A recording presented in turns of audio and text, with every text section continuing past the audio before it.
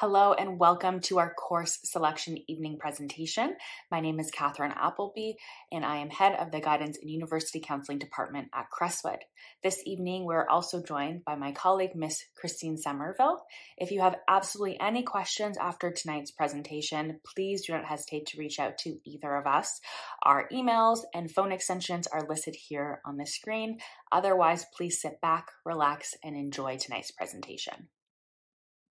As we start to think and plan ahead to the summer, I'd like to start this presentation off by discussing Crestwood's summer school program. We offer a wide variety of classes all the way from grade 9 to grade 12, starting with math and Canadian geography in grade 9, civics and careers in grade 10, which are actually two separate classes that will run two weeks each, functions and communications technology in grade 11, and finally advanced functions in grade 12. The specific dates will be posted in the newsletter in the next couple of weeks, but ultimately the program will run from the end of June to the middle of July, and we will be striving for an in class delivery as long as the Ministry of Education and the Ministry of Health allow us to do so. So, once again, please look out for details in terms of registration and specific dates in the newsletter in the next couple of weeks if you are interested in enrolling your son, daughter, or student in the Crestwood Summer School program. This evening's presentation will cover three main areas. We will start off with an overview of what is required to graduate with an Ontario High School diploma, and then we'll move on to course selection and outline compulsory courses as well as elective options for each grade and provide a breakdown of Xello, which is our course selection software. We'll finish our evening by discussing the various post-secondary pathways and how to pick courses according to one's post-secondary goals. Uh, as we talk about course selection, you will hear us use terms such as compulsory or elective quite frequently. And to ensure that everyone has a clear understanding of what exactly these terms are referring to, I'm going to give a quick overview of each. So compulsory courses are courses that are required for students to take as it fulfills part of the Ontario Secondary School Diploma or the OSSD requirements. So an example of a compulsory course would be English. This is compulsory for all grades from 9 to 12. Elective courses, on the other hand, are classes that are optional. So these are the classes that students can choose during their course selection process. And students can select these electives based on their interests. And each one of these elective courses will count towards meeting their 30 credit graduation requirement. Finally, prerequisite courses are specific courses students must take before taking another course at the next grade level. So, for example, grade 10 science is a prerequisite course that must be completed before taking any grade 11 science, such as physics or chemistry.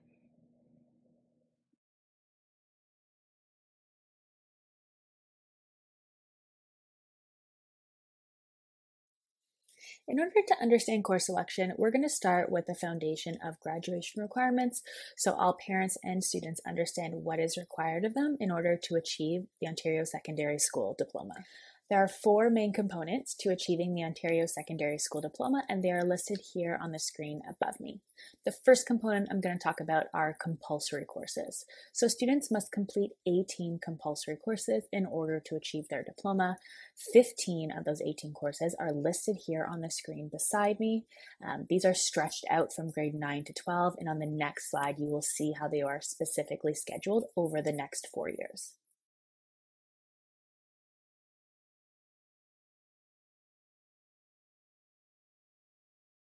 The previous slide displayed the first 15 compulsory courses. Now I'm going to talk about the remaining three. The remaining three compulsory courses come in the form of group credits, a group 1, 2, and 3 credit. For a group 1 credit, we have to have a student now take an additional course falling under one of the following subheadings listed on the screen. An example of a Group 1 credit could be a grade 10 French or a grade 11 American History, which falls under the social sciences. Same rules apply here for the Group 2 credit. A student must pick up an additional course that falls under one of the following subheadings. An example of a Group 2 course could be an additional phys ed, a business studies, an additional art course in music, drama, or visual, um, or carrying on with the French program. Finally, we have the group three credit. So a student must take an additional course that falls under one of the following subheadings on the screen. For example, a senior science or a computer studies course um, and a technological education course. So a good thing is if your Crestwood student has been here since grade eight or grade nine, they have taken um, one or two communication technology courses. So they have automatically already finished the group three requirement. On the screen, you can see an example of a student who selected their three group credits um, over their four years. So in grade nine, based on our Crestwood program, they automatically got their group three by taking the Com Tech. In grade 10, they selected grade 10 drama, which knocked off the group 2 credit.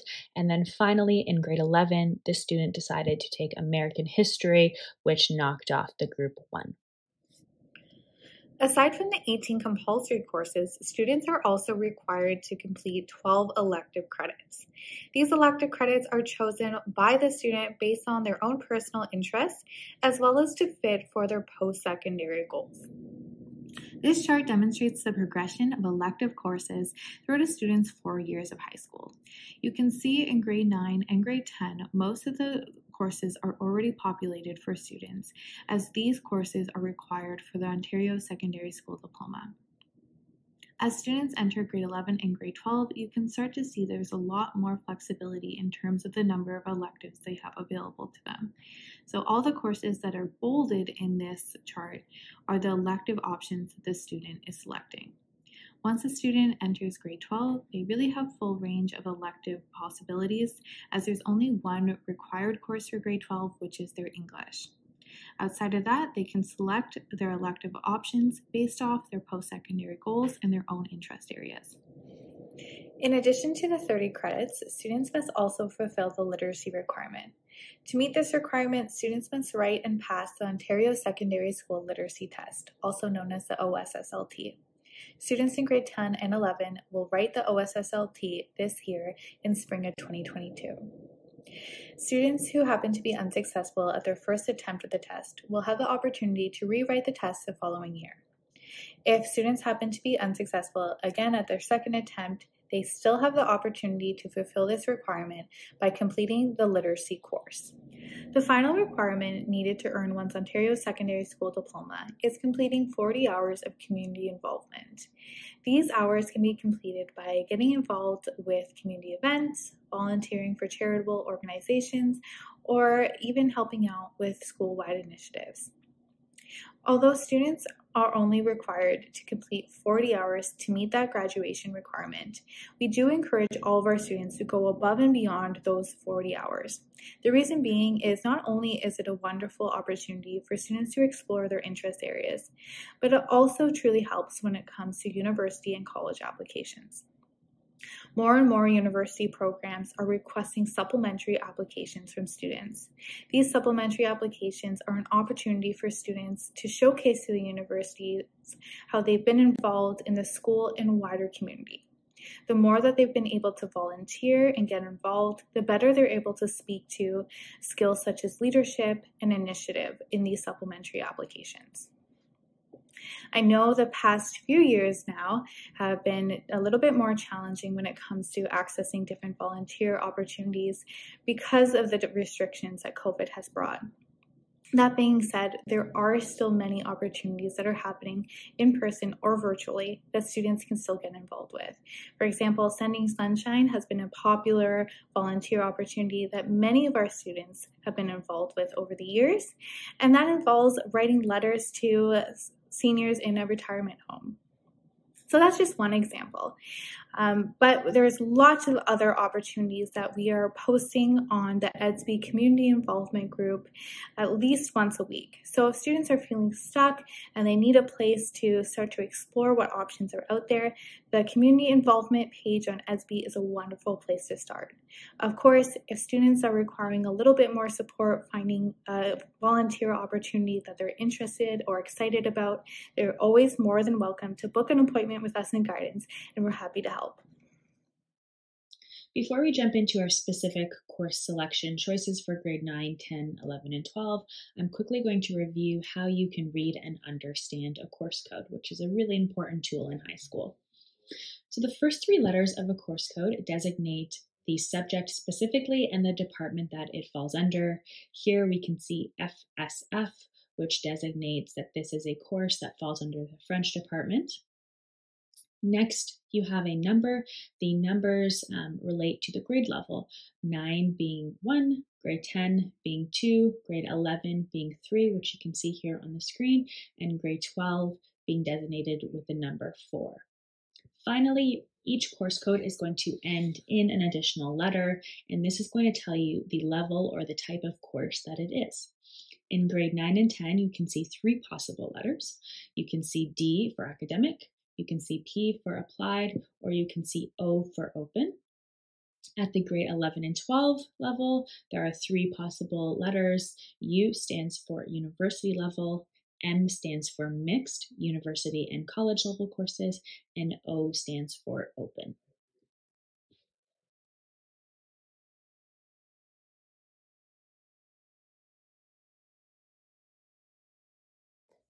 Students in grade 9 are required to take a full course load of eight classes, and on the next slide, I will show you how those break down between compulsory and elective grade 9 program is quite structured for our students with seven compulsory and one elective course. The one elective course um, is already pre-scheduled based on our Crestwood program, and that is Communications Technology 10.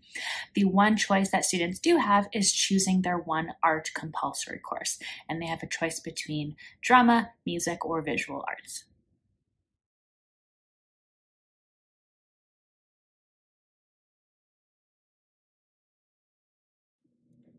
Grade 10 students are required to take a full course load, meaning they must have at least eight classes. We encourage our students to be mindful of the group 1, 2, and 3 requirements when selecting their elective courses. That way, they can make sure to fulfill these requirements early on. So we can see from the chart here that there are five compulsory courses for our grade 10 students. We have English, Math, Science, Canadian History, as well as Civics and Careers. Civics and Careers are two separate courses, however, both are worth 0.5 credits. So half of the year, our grade 10s will study civics, the other half of the year will be devoted to careers. Aside from these five compulsory courses, our students are able to select three elective courses to complete their full course load of eight classes. Students who are on a Reach Ahead schedule, who are currently taking grade 10 history in their grade 9 year, will have the choice of an additional elective. Listed here are the elective options students can choose from, arranged by subject. Classes that are listed in red are grade 11 Reach Ahead courses, which are available to our grade 10 students. When considering which of these electives to choose, we strongly encourage our students to focus on their interest areas. Aside from their compulsory courses, there are no prerequisite courses students must take in grade 10 in order to qualify them for a grade 11 elective. So this means students are really able to focus on areas they would like to explore further without having to worry if this would close any doors for them in grade 11 and grade 12.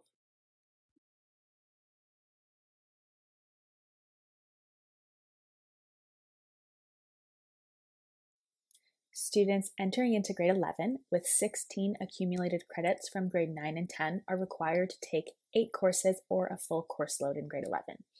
Students coming into grade 11 with more than 16 accumulated credits from grade 9 and 10 are allowed to take 7 courses plus one spare. At the time of grade 11 course selection, it's also really important for students to take stock of those group credits, those group 1, 2, and 3 requirements, and figure out if they're missing any, and definitely try and schedule those in now so they don't have to worry about them in grade 12. Grade 11 course selection is also quite significant as it does lay the groundwork for grade 12 courses and then furthermore post-secondary goals and pathways. So it's at this time that we really encourage grade 11s to start diving into post-secondary research and check out websites such as Ontario University's info and ontariocolleges.ca to start to figure out the admission requirements and prerequisite courses for their programs and then they can use that to inform their grade 11 course selection choices.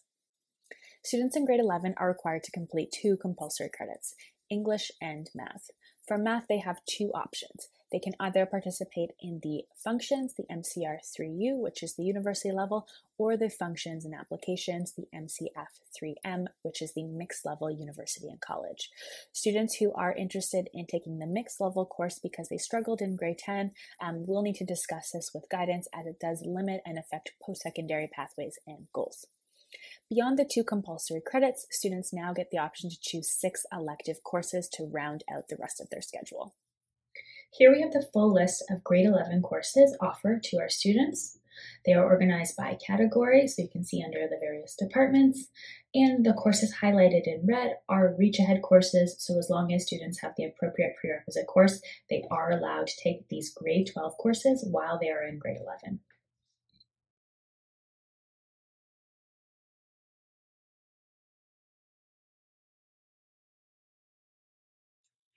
For our students going into grade 12, they are required to take a minimum of six courses. Though they are only required to take six, for any students who have earned only 24 credits by the end of grade 11, we recommend taking a minimum of seven courses. The reason being is we want to make sure all our students are meeting the 30 credit requirement, which is their 18 compulsory and 12 electives. Students who are applying to university will require six grade 12 university level or mixed level courses in order to be considered for admission. Before selecting any courses, it is very important students are checking admission requirements for their desired university or college program. This way, they're ensuring that they're selecting the appropriate courses for their given pathway. To check out these details, we have encouraged all our grade 11 students to explore the Ontario University Info website or to visit ontariocolleges.ca. By the time students enter their grade 12 year, there is only one required course left, which is their grade 12 English. The remainder of their electives students can select based on what is required for the university or college program they are interested in pursuing. Each post secondary pathway, whether it be business or architecture or sciences, will have their own unique set of course requirements needed. For that reason, it is very important students do their research to identify what courses are required for the program area of interest before selecting any of their electives.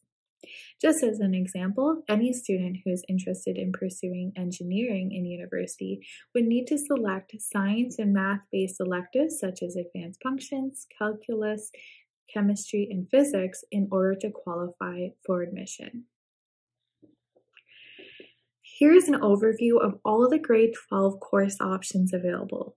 Just to reiterate, when selecting their electives, it is important that the grade 12s first select the courses that will be required for their university program of interest, and then with the remaining electives, choose courses that they feel most interested in or most confident towards.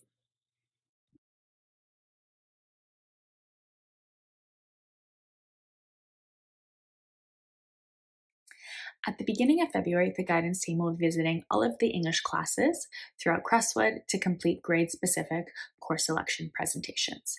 In these presentations, we will be teaching our students how to submit their course choices using our online software, Xello. Students must log into Xello using their Crestwood email, and then they'll be able to add in their course choices, review those choices with you at home, and submit by the specified deadline.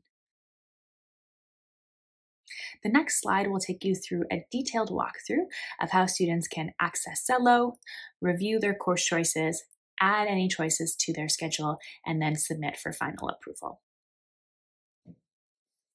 In order for students to access Xello, they are going to first start by logging into their Edsby page. Once they get to their main landing screen, they're going to visit their appropriate guidance group, so either the 7 to 10 guidance or the 11 to 12.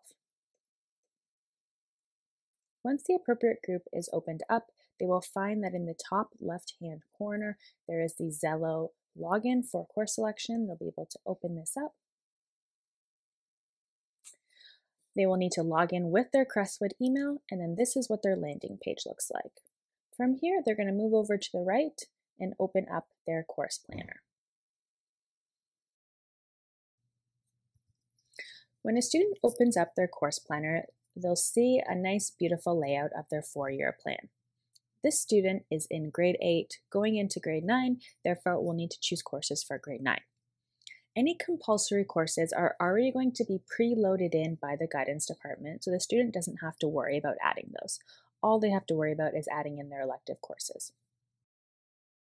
In grade 9, students only take one art elective, so I'm going to open up the art elective now and show um, you the options. All the possible elective courses will drop down here in the menu the student is able to press these plus signs to get a full course description, just in case they need to do a little bit more research to figure out what course they want to choose.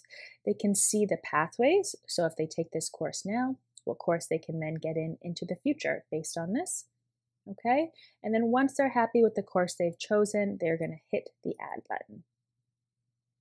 It's going to take a few seconds to load and then it will populate into their course planner. If for any reason the student wants to change it, they can simply press remove and then add in a new course. So again, if they're not happy with this, they can just hit remove and then maybe change their selection to music or visual art. It's totally up to them.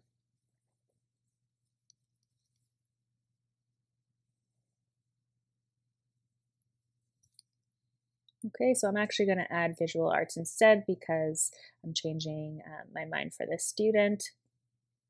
Again, once it populates in the course planner, we're going to hit the done button here at the top, and then we are going to move back to our main page. So our course selections are in.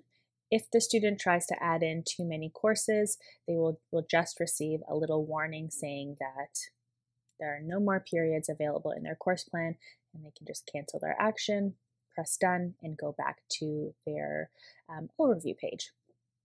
When they've taken the time to review their courses and electives with their parents, students can simply press ready to submit at the bottom, and then this will get sent to the guidance office for review. It's important to understand that once students hit this ready to submit button, they will be locked out of their course selection as you can see by this little lock here um, in the yellow at the top. If they do need to make any changes after they've submitted or they've pressed submit by accident, they can simply um, send one of their guidance counselors an email and we can unlock it for them.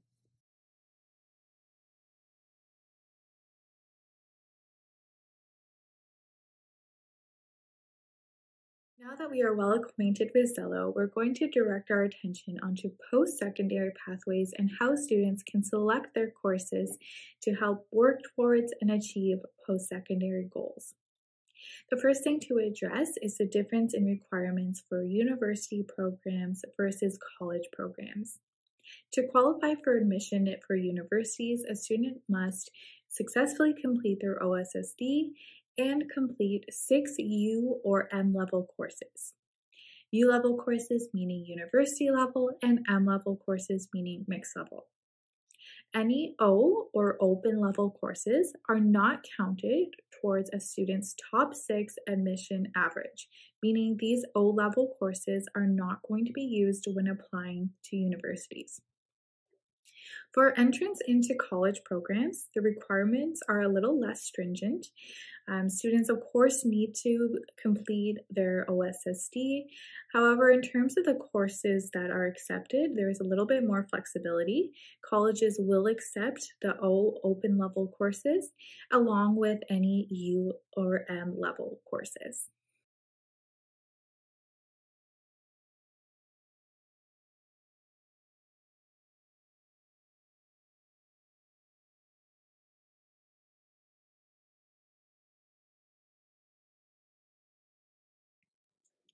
So, the first pathway we'll dive into is the arts, social science, and humanities.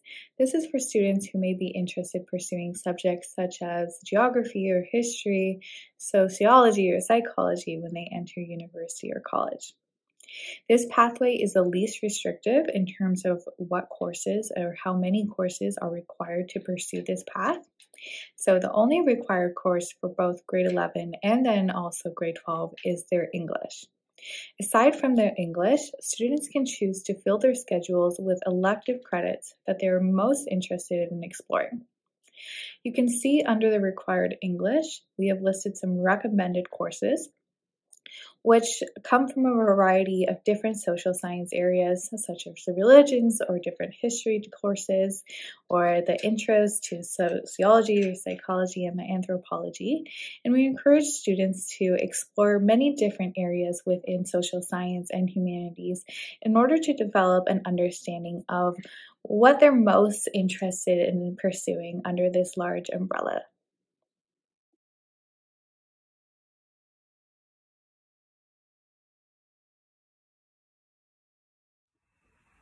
For students who are interested in business in university, there are two main requirements when they enter grade 11. Their grade 11 English, as well as university level functions, the MCR3U course. These two courses are the only required classes. However, we do uh, have listed here some recommended options, and those would be all related to business. So we have Financial Accounting 11, Economics 11, and our Reach Ahead option, which is International Business 12. When students enter grade 12, they are required um, to take the following courses in order to qualify for university business programs. So they need to have their grade 12 English, advanced functions, and calculus. Aside from these three required courses, students can also choose to add additional business electives um, by adding courses under the recommended section, which would be business leadership, grade 12 economics, and grade 12 accounting. Although we recommend these courses to our students who are interested in business, they're not required by any university program, but rather just offer a wonderful way for students to gain a little bit more familiarity with the common topics that they'll be seeing in their post-secondary business studies.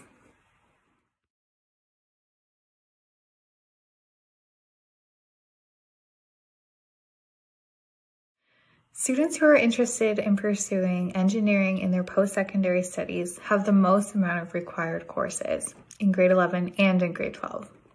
In grade 11, they must take obviously their English as well as their grade 11 functions and physics 11 and chemistry 11.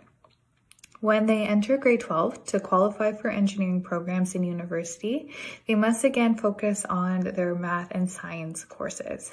The courses that are required for them to gain admission would be English, advanced functions, calculus, physics, and chemistry. This leaves room for one elective which they can choose to their liking.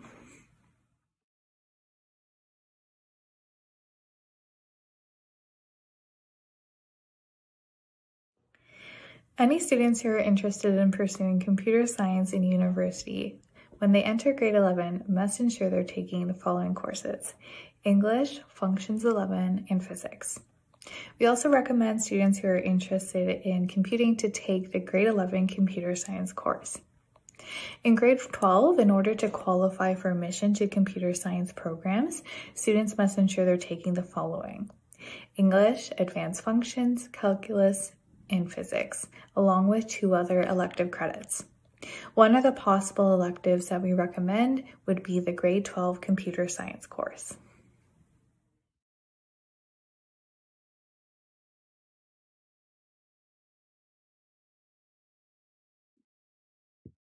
Students who are interested in going into a fine art, media, or design based program have a lot of flexibility when it comes to their course selection very similar to the general arts, social sciences, and humanities students. When it comes to the required courses, the students are going to have to take the credits that are simply tied into the OSSD, which is the English and the math in grade 11, and then the English in grade 12. So, again, this will not only fulfill the diploma requirements, but these are also the required courses for anyone who wants to go into a fine art, media, or design based program. When it comes to the recommended courses, um, there's a lot of options that we have at Crestwood. And again, although specific art courses are not actually required for most fine art programs, it is important that students are really getting the exposure in grade 11 and 12 to set them up for applications and for success in post secondary. So, for example, if a student is interested in graphic design or painting and drawing in university, then it would be really highly advisable for them to look at visual arts and communications technology in both grade 11 and 12. Same thing for the other areas. If a student is interested in going into theater or performance studies, it's really important that they then take grade 11 and 12 drama to set them up. When it comes to these post secondary applications, most fine art, media, and design programs require a portfolio, an audition, or even an artistic letter of intent. So, having the practice by taking these courses in grade 11 and 12 will really set these students up for success in completing those tasks as well.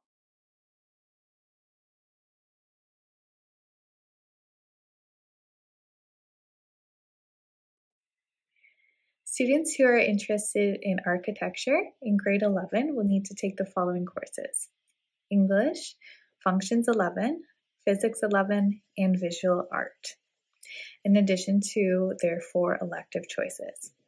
In grade 12, they'll have similar requirements. They'll need to take their English, Advanced Functions, Calculus, Physics 12, and Visual Arts 12, along with one additional elective course.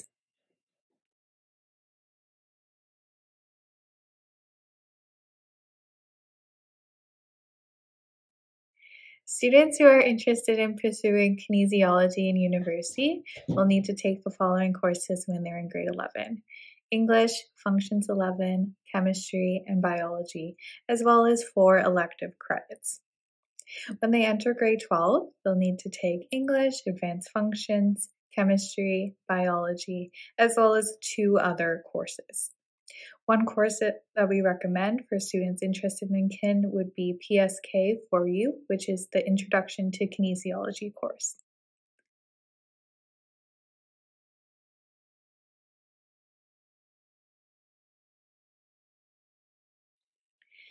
The final pathway that we'll discuss is the sciences, whether that be life science, medical science, or physical science. The requirements for each are relatively similar. So, if you're interested in life science or nursing or medical science, the following courses would be required for grade 11 students. So, that would be English, functions, chemistry, and biology, along with four elective courses.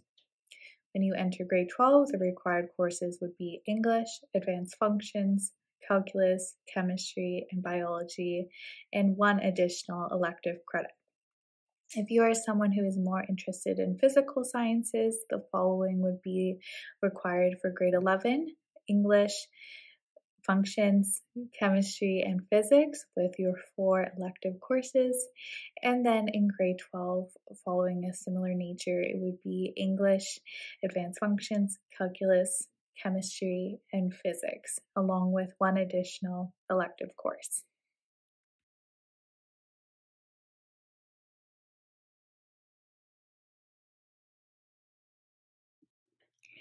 We'd like to thank you all so much for joining us. We hope that this information helps you better navigate the course selection process. But of course, if you have any questions or concern, please don't hesitate to reach out to any member of the guidance department. We are always happy to help. And with that, stay safe and enjoy the rest of your evening.